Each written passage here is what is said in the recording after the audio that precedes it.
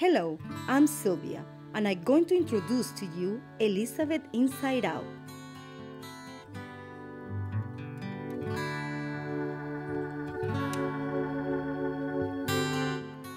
Elizabeth Inside Out is a bilingual hyperlocal news site focused on the city of Elizabeth, New Jersey. We cover breaking news, politics, and lifestyle.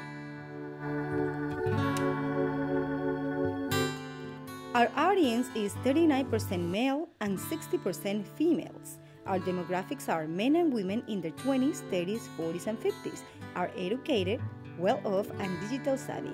Since October 2011, we have 185 likes in Facebook, 88 followers in Twitter, and 129 approved comments.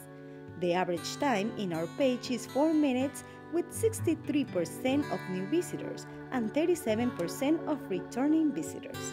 And our bounce rate is 2.1%.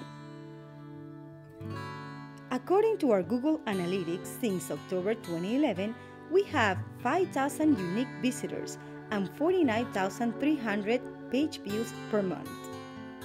What makes us different from other hyperlocals is that we use daily bilingual and multimedia content targeting a multilingual and multicultural city.